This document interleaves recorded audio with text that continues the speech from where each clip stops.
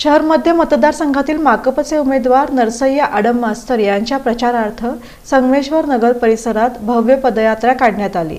शहर मध्य मतदारसंघातील मार्क्सवादी कम्युनिस्ट पक्षाचे अधिकृत उमेदवार माजी आमदार नरसय्या आडम मास्तर प्रचारानिमित्त संपूर्ण मतदारसंघ पिंजून काढत आहेत. सोमवारी संगमेश्वर नगर परिसरात पदयात्रा काढण्यात आली. यावेळी आडम मास्तर यांनी नागरिकांना विळा हातोडा तारा या चिन्हावर मतदान करण्याचं आवाहन केलं.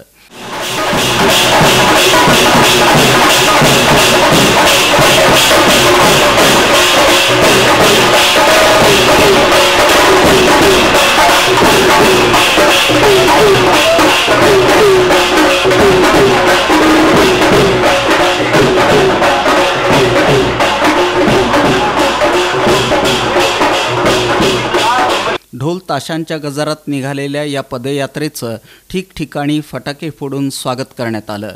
यावेळी प्रतिक्रिया व्यक्त करताना आडम मास्तर यांनी संगमेश्वर नगर परिसरात नागरी सुविधांची वानवा असून आमदार झाल्यानंतर हे प्रश्न प्राधान्यानं सोडवण्याचं आश्वासन दिलं. या आमदार बने खासदार बने नगरसेवक बने.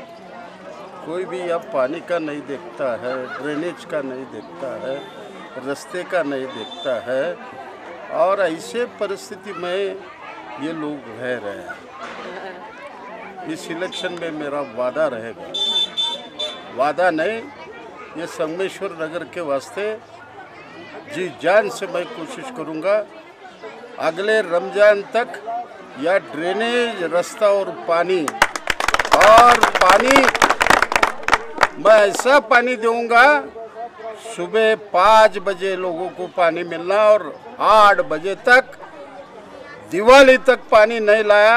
आडम मास्टर का आमदार का राजीनामा तुम्हारे या पदयात्रेत नलिनी कलबुर्गी युसुफ मेजर यांच्यासह माकपचे कार्यकर्ते मोठ्या संख्येनं सहभागी झाले होते.